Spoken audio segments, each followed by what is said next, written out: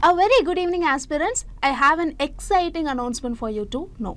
We are happy to bring to your attention that Shankar IAS Academy is launching the Mains Booster 2023 under which you will be provided 40 mains oriented tests in 90 days.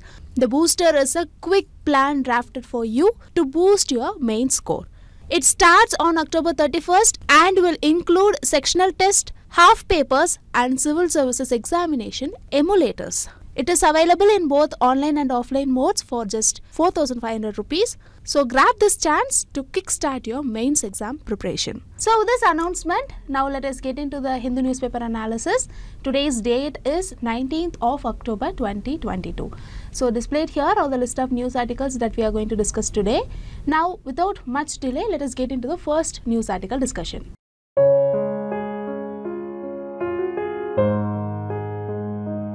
Now take a look at this news article. It reports about the recent tussle between Kerala governor and the higher education minister of the state. See, the larger issue is that the governor of Kerala didn't give his consent to the Kerala University Laws Amendment Bill 2022. During this issue, governor claimed that the statements of individual ministers that lowers the dignity of the governor's office can invite action, including withdrawal of pleasure.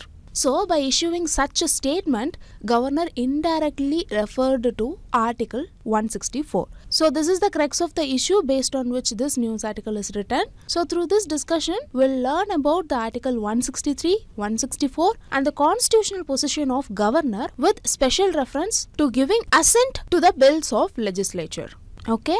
Firstly, to get a comparative understanding, let us compare the constitutional power of both the governor and the president. So here we are going to look at two different articles with respect to the governor and president. Let's take the article 74 and 163. See article 74 says that president should act in accordance with the advice of prime minister and his or her council of ministers. Now let us look at the article 163. It says that governor should act in accordance with the advice of chief minister and his or her council of ministers except in certain cases where he or she can use his discretion. So you have to pay attention here. See in article 163.1 there is a constitutionally allowed provision for exercising discretion by the governor which is not there for president under article 74 okay so through this comparison we can see that governor has some extra discretionary power accorded to him by the constitution itself so now let us see some of the constitutional discretionary powers of governor.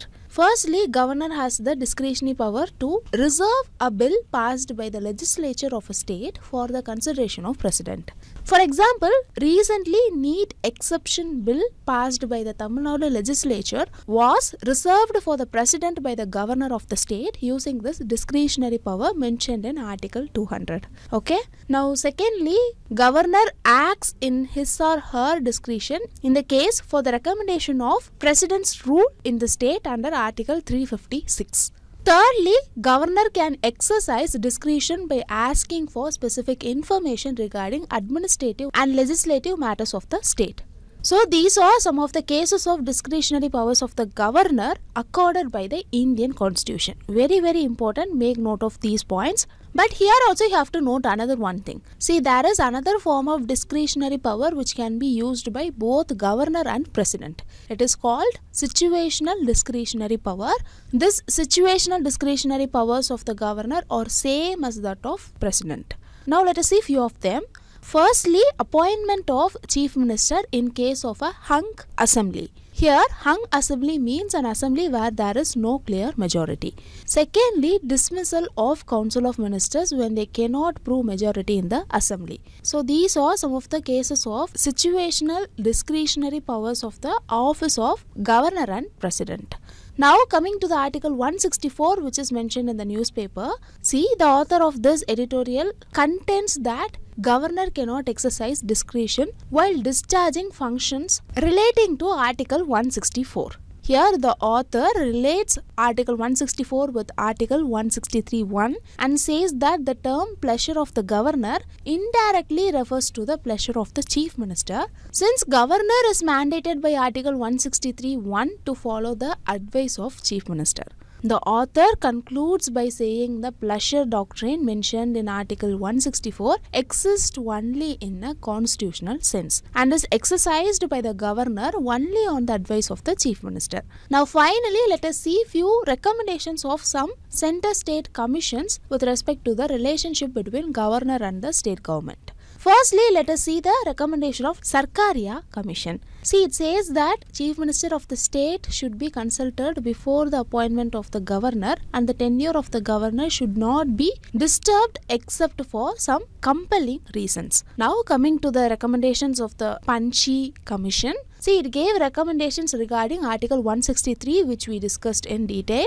It said that Article 163 does not give the governor the general discretionary power to act against the advice of Council of Ministers. It noted that the area of exercise of discretion is limited, and even in this limited area, the governor's action should be arbitrary or fanciful. The other important recommendation by the Punchhi Commission is that governors should be relieved of their role as chancellors of all the universities present inside the state under the governorship of them. Here note that governors are the de facto chancellors of all the universities present inside a state. So these are all some of the recommendations of the Punchhi Commission with regards to the office of governor. So through this discussion we came to know about several constitutional provisions regarding the discretionary power of governor and also about a few recommendations regarding the office of governor by Sarkaria and Punchhi commissions. So these learned points now let us move on to the next news article discussion. Take a look at this news article See, this news article talks about the minimum support price that is MSP. Now, suddenly MSP is in news because the Cabinet Committee on Economic Affairs announced an increase of 2% to 9% in MSP for six mandated rabi crops for this season. So that is why MSP has made news today and the center have made this announcement after an allegation from farmers organization. Farmers organization they alleged that by keeping the MSP of wheat low and announcing a paltry hike, the center is helping big corporate houses in the sector to make quick money. So after this announcement, the sowing of the six crops has started and this is the background of the news article given here. So in this context, let us quickly understand what is this MSP. See, we know that the prices of agricultural commodities often vary due to various factors in our country, right? If a crop has seen a good harvest during a particular year, it may see a sharp fall in its prices. Here, fall in prices means lesser profit for farmers. So, farmers may not sow the crop in the next year, which will affect the supply of the crop. So to counter this, MSP is fixed by the government which is supposed to encourage higher investments and production of crops. So what is this MSP? See MSP is nothing but the minimum price set by the government for certain agricultural products at which the products would directly be brought from the farmers if the open market prices are less than the cost incurred. So from this itself we can infer that MSP is a form of government intervention and this government intervention is to incur the farmers against a steep decline in the prices of their goods and to help them prevent losses. As simple as that. So now you might ask me who and how this price is determined. See, know that the MSP is fixed on the recommendations of the Commission for Agricultural Cost and Prices, which is shortly known as CACP. See, knowing about this is very important. Just make note of this fact. Now the CACP they consider various factors to determine the prices before making its recommendations. Some of the determinants of MSP which are analyzed by CACP are given here in this image. You can go through that. Now based on all these input the commission then finalizes its recommendations or reports which are then submitted to the government. The government in turn circulates the CACP reports to state governments and concerned central ministers for their comments. After receiving the feedbacks from them, the Cabinet Committee on Economic Affairs, that is the CCEA of the Union Government, they take a final decision on the level of MSP. And this Cabinet Committee on Economic Affairs only announces the MSP okay? And finally the food corporation of india that is fci which is the nodal central agency of the government of india along with other state agencies undertakes procurement of crops. So this is how msp is determined and announced Now remember the government of India sets the MSP twice a year prior to sowing season that is one for Rabi and other for Kharif. When the market price falls below the declared MSP, the government would purchase the entire quantity from the farmers at MSP. Okay, so here the key point is that MSPs are declared during the sowing season. Now, this fact is important because it actually helps the investors to make a planned investment into a crop. Okay, hope you got a clearistic idea about MSP, how it is announced. Now let us see the crops covered under this MSP. See, government announces minimum support prices for 22 mandated crops and fair and remunerative price that is FRP for sugarcane. See, among the 22, 14 crops belong to Kharif season, 6 belongs to Rabi season and 2 other belongs to commercial crops. So here I have given the list of crops. You can just go through it. So I hope now you can understand the news article much better. The MSP for the 6 Rabi crops mentioned here has been increased. That is why MSP is in news. Okay. I hope you had a clearistic idea about MSP, how it is announced and the crops under MSP. So with these learned points, now let us move on to the next news article discussion. See this article in business page. See, as per the article, SEBI said that a merchant bank cannot carry on any business other than those pertaining to the securities market. So, this is the essence of the news article given here. In this context, let us first understand what is a merchant bank and we'll also see how it is different from the investment bank. Before that, I hope you all know about the commercial banks See, commercial banks offer services to the general public. But there are some banks which offer services to the companies and investors but not to the public. The merchant banks and the investment banks comes in this category only. First, let us see about the merchant banks. See, a merchant bank is a financial institution that serves individuals who have a high net worth and multinational corporations. As we saw already, they do not offer services to the general public like the commercial or retail banks. Then what do they do? See, it is a financial institution that exists primarily to facilitate trade. That is, they work with companies and specialize in international finance for multinational corporations. Now, coming to the services provided by them, see, these banks often provide underwriting, loan services, financial advising, and fundraising services. Now, here I have a task for you. Go and find what does this word underwriting mean.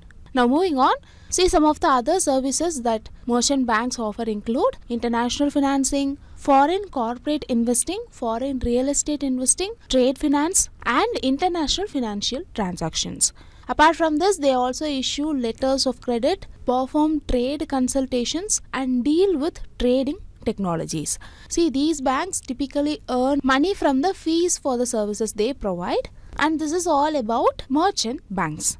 Now, coming to the investment banks, see, an investment bank is an institution that works with large or complicated financial transactions. An investment bank is a financial institution that mainly facilitates the growth of businesses and investments, that is, it helps in arranging capital.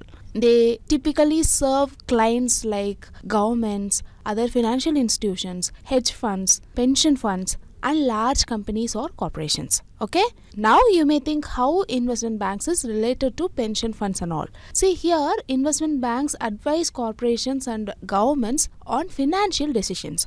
They provide some of the services like arranging financing, equity financing, underwriting, arranging private placements, negotiating mergers and acquisitions, researching market trends, and advising clients. So, in simple words, the three main functions of investment bank operations are categorized as financial advising, mergers and acquisitions, and thirdly is research. However, one of the primary roles of an investment bank is to operate as an intermediary between their client and public investors by helping their clients raise funds. Okay. For example, a startup company may hire an investment bank to help them prepare to launch an initial public offering, that is IPO, or additional stock offering. This means that the company sells shares of ownership to investors in the general public to raise capital. Okay. Now remember, the investment banks also earn money from charging fees, but they make additional revenue from interest and lease rentals. An investment bank might also make a commission based on market performance. So ultimately, the difference between these two banks lie in their clients, services offered, and the way they make money. Okay? So that's all about this news article discussion. In this news article discussion, we saw in detail about merchant banks and investment banks and we saw how they differ from each other. So these learned points, now let us move on to the next news article discussion. See this article here. It says that a petition was filed by advocate Ashwini Kumar Upadhyay. The petition is about seeking directions from the top court to the government to frame uniform divorce law and uniform guidelines for adoption and guardianship of children. So this is the essence of the news article given here. In this context, let us understand about Uniform Civil Code. See, knowing about UCC is very very important. It will help you in mains answer writing. So first of all, what is this Uniform Civil Code? See, it is nothing but a code which encompasses a single personal law for all citizens irrespective of religion, sex, gender and sexual orientation. Okay? The UCC calls for the formulation of one law for India regarding civil cases and it envisions a single law that is applicable to all religious communities in matters like marriage, divorce, inheritance, adoption, etc. Okay? So now you may ask what is the scenario in India? See in India, personal laws are based on religion. These laws apply to a certain group of people based on their religion, caste, faith and belief and they are made after due consideration of customs and religious text. Now let us take the case of Hinduism and Islam. See in Hinduism, personal laws are applicable to legal issues related to inheritance, succession, marriage, adoption, co-parenting, obligations of son to pay their parents' debts, the partition of family property, maintenance, guardianship and charitable donations. The sources of these laws include Vedas, Dharma Sutras, age-old customs, etc. Next, in Islam, personal laws apply to matters relating to inheritance, wills, succession, legacies, marriage, walk-ups, dowry, guardianship, divorce, gift, etc. The sources of these texts is Quran. Okay? So some of the examples of personal laws include the Hindu Marriage Act 1955, the Hindu Succession Act 1956, the Hindu Minority and Guardianship Act 1956, the Muslim Personal Law Shariat Application Act 1937, Dissolution of Muslim Marriages Act 1939, Waqf Act 1955. So from these example what you can infer? We can infer that these are laws existing for personal matters based on religion. But why everyone is talking about UCC? What is the need for UCC in India? Just you try and list the points. It is very easy. Think about it now. The disadvantages of personal laws are the reason why we need UCC. So, if you list points for the need of UCC, then you can use them as disadvantages also. So, we'll try and do that now. First of all, the disadvantage of personal law is that it is exact opposite of secularism. So, to promote secularism, we need UCC. Secondly, it is obviously discriminatory. See, Muslims are governed by Muslim laws and Hindus are governed by Hindu laws. These laws will not be the same. So, the benefits that are enjoyed by a person in one religion is different from the benefits that are enjoyed by persons in another religion. And this is discrimination, right? And that is why we need UCC. Now, think about the triple talaq case it is not applicable for Hindus, right? If you think in that sense, then the Muslim women they are discriminated because they belong to a particular religion. So to avoid this only UCC is important. Thirdly, we need UCC to promote women empowerment. See, some laws are extremely patriarchal and misogynistic. This leads to subjugation and mistreatment of women. So to avoid this, we need UCC.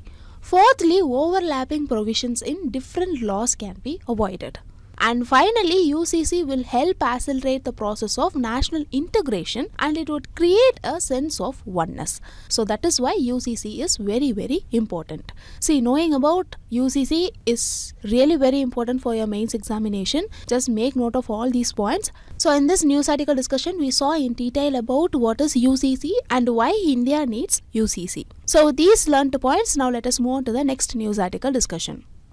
Now take a look at this text and context article. This article talks about various astrophysical phenomena which is very interesting. In this we are going to see about the global astrometric interferometer for astrophysics that is GAIA spacecraft, neutron stars and some basic science stuff. Before that the syllabus relevant to this news article is highlighted here for your reference. Just go through it. See, recently scientists observed the merger of two neutron stars to form a black hole.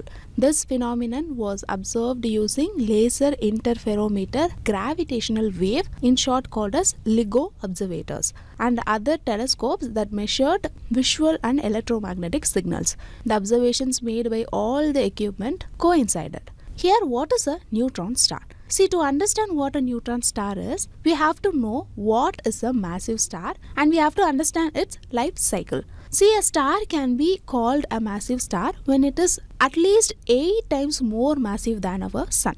See, a star maintains its stability through a fine balance between its own gravity, which holds it together, and the outward pressure from ongoing thermonuclear fusion processes taking place at its core. You can look at this image to understand better. Here, the thermonuclear fusion process is one in which two hydrogen atoms merge to create a helium and release massive amounts of energy. But what happens when the hydrogen in the star's core starts decreasing? See, once a star's core run out of hydrogen, the state of equilibrium which is said will exist in the star is lost. The inward force of gravity overpowers the outward force of thermonuclear fusion. This mismatch results in the collision of the star's core. Once the core of the star begins to collapse, the plasma around the core begins to expand. As the shell of plasma increases in size, it loses more heat. Due to this, its temperature starts decreasing. As the temperature decreases, the color of the star changes from bright yellow to red. In this phase, the star is called a red giant. See, a normal size star turns into a red giant and the massive star turns into supermassive red giant or supergiant. As I already said, there is a mismatch between gravity and thermonuclear fusion, right? As gravity takes over, the density of the supergiant's core keeps on increasing. This increase in pressure and density due to gravity finally result in a huge explosion. This explosion is a supernova. You can see that in this GIF. See, after a core collapse supernova, all that remains is a dense core. When massive stars undergo supernova explosions, they either turn into a black hole or an ultra dense neutron star. Now, coming back to the question, what is a neutron star? See, basically, a neutron star is the collapsed core of a massive star. Neutron stars are the smallest and the densest star known to exist. These neutron stars are so small that their radius is only around 10 to 20 km. Compare this to our sun, whose radius is 6,96,340 km. But even though neutron stars are very small, they weigh 2 to 3 times more than our sun. This is why they are called the densest stars of our universe. The next thing is a black hole. I hope most of you are aware of what a black hole is, especially Nolan heads who witnessed the marvel that is interstellar. See, for people who are not familiar with it, let me explain. A black hole is an astronomical object whose gravity is so strong that even light cannot escape from it. Now, having understand the basics, now let us get back to the news article. Look at this image. See in this image you can see two neutron stars colliding with each other resulting in the form of a black hole. If you notice here at the time of merger light, gravitational ripple in space-time and an unusual jet of matter is ejected. The light was observed using telescopes that measure visual and electromagnetic signals and the gravitational ripple were measured using LIGO. As I already said, only after both the observations matched, this astrophysical event was confirmed. Another interesting thing that was noticed was the speed of the jet of matter that was ejected was observed to be traveling at speeds faster than the speed of light. Now, this is not supposed to happen, right? Because we know that no object in the universe can travel at speeds faster than the speed of light. Now, this is an issue. But right now, after further research, the physicists have found that it is just the apparent speed of the jet of matter that was traveling at speeds higher than the speed of light. But its actual speed was lesser than the speed of light. This is due to the phenomenon of astrophysics called superluminal motion. Now, before explaining to you what is the superluminal motion, I have a question. Have you wondered how astrophysicists measure the distance of stellar objects? See, when I was a kid, I used to think they must use a light beam and find the time taken for the light beam to go and come back, and then using this, they might find the distance. But this is not correct because astrophysicists have the distance of stellar objects that are millions of light years away from us. So, what do they actually use?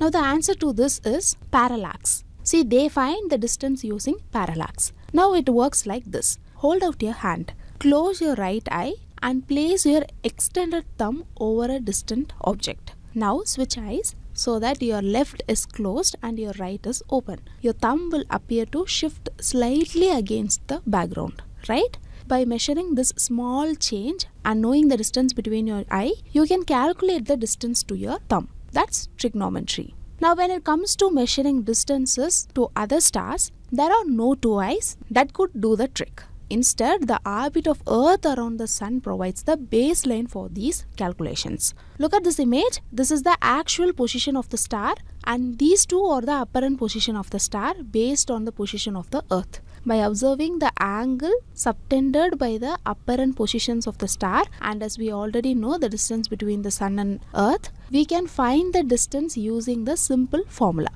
We know tan P is opposite by adjacent, right? Here opposite is the distance between the sun and the earth which we already know. We also know the angle P. Using this information, we can find the adjacent which is the distance between the sun and the star. So using this simple calculation only, we are measuring the distance of stellar objects. But there is one small issue here. The light rays from stellar objects are distorted by our Earth's atmosphere before they can reach our land-based telescopes. To address this, in 2013, the European Space Agency launched the Gaia spacecraft, that is Global Astrometric Interferometer for Astrophysics GAIA spacecraft. Since this is placed outside India's atmosphere, the light that it absorbs is not distorted, hence its accuracy and precision is higher. Gaia not only measures the distance of stars and other stellar objects, it also has a radial velocity spectrometer on board. This instrument measures how fast stars move towards or away from Gaia. So now how is the speed of stellar objects are measured? See it is measured using a phenomenon called the Doppler effect. To understand this phenomena, consider an ambulance speeding towards you. Its a sirens scream at a high pitch when it approaches you. The pitch suddenly drops when the vehicle rushes by and races away. This is due to the phenomenon of Doppler effect. Similarly, if a star is moving towards us, its light waves gets scrunched up to shorter or bluer wavelengths producing a blue shift. If a star is moving away, its light waves get stretched out to longer, redder wavelengths producing a redshift. The faster the sun, the greater this shift. Okay? Having understood how we find the space and distance of stellar objects, let us see about the superluminal motion. Say an object which is light years away from Earth is moving towards Earth. If we want to find the speed of the object, what we will do? We'll find the time taken for the object to move from point A to point B. If we find the distance between point A and point B and divide it by time taken, we can find its speed, right? See, using this method, we can find only the apparent speed of stellar objects. This is because if the stellar object is moving at very high speed towards us, the time taken for light to reach Earth from point A is longer than time taken for light to reach Earth from point B. Due to this, the time taken that is observed on Earth appears to be lower than the actual time taken. It is due to this only some objects like the jet of particles ejected from neutron star collisions appear to move at speeds more than the speed of light even though in reality they move at speeds lesser than this speed of light. Okay. This is mainly happening when the object travels at speeds closer to the speed of light and they are moving in Earth's direction. So, this is the phenomenon of superluminal motion, and due to this, sometimes objects in the universe may appear to move at the speeds greater than the speed of light, but in reality, they move at speed closer to the speed of light. Now, finally, coming back to the article, the article says that due to measurement made by the Gaia spacecraft, it was found that the speed of the jet of particles emitted from the neutron star collision was found to be 99.97% of the speed of the light, but its apparent speed was close to 7 times the speed of light. So, this is about the news article. See, although this discussion was a bit technical, I hope you found this discussion exciting and interesting. So, in this news article discussion, we saw in detail about stars' life cycle and then we saw in detail about the phenomenon called superluminal motion. So, with these learned points, now let us move on to the next news article discussion. See this article here.